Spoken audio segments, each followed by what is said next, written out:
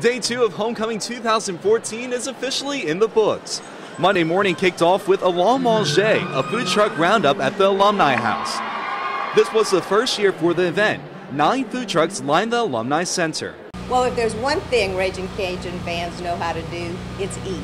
And so we were excited to bring this new event to, uh, to the community. Allons Manger, Ragin' Cajun Food Truck Roundup.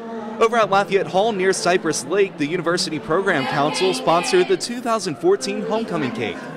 This year's queen, Madeline Orty, cut the first slice. Students were also able to sign the Spirit banner, which will be displayed throughout Homecoming Week.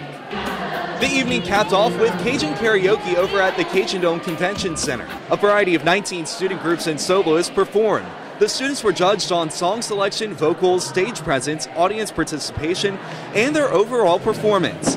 The night was all about improving on the original song and trying to tie it to the Cajuns. Well, being out here, it's super exciting. I mean, homecoming week is one of my favorite weeks as a student. Um, you know, it's, it's, great to see all organizations come together to support our school, and it's just a big fun celebration. You still have time to join in on all the fun. There's activities this whole week leading up to the big game on Saturday.